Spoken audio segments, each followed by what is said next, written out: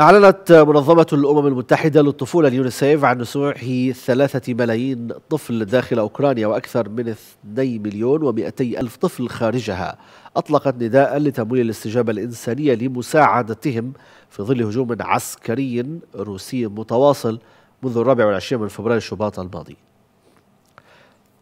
قال المتحدث باسم الأمين العام للأمم المتحدة ستيفان دوجاريك خلال مؤتمر صحفي بمقر المنظمة في نيويورك إن اليونيسيف أصدرت اليوم بيانا أكدت فيه أن نحو 100 يوم من الحرب في أوكرانيا أحدثت عواقب وخيمة على الأطفال لم نشهدها منذ الحرب العالمية الثانية. وأوضح أنه وفقا للبيان يوجد ثلاثة ملايين طفل داخل أوكرانيا وأكثر من مليوني ومئتي ألف طفل في البلدان المضيفة للاجئين بحاجة الآن إلى المساعدة الإنسانية. ونزح حوالي طفلين من بين كل ثلاثة أطفال بسبب القتال.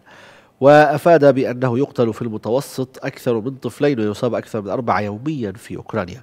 معظمهم من خلال هجمات تستخدم فيها الأسلحة المتفجرة في المناطق المأهولة بالسكان.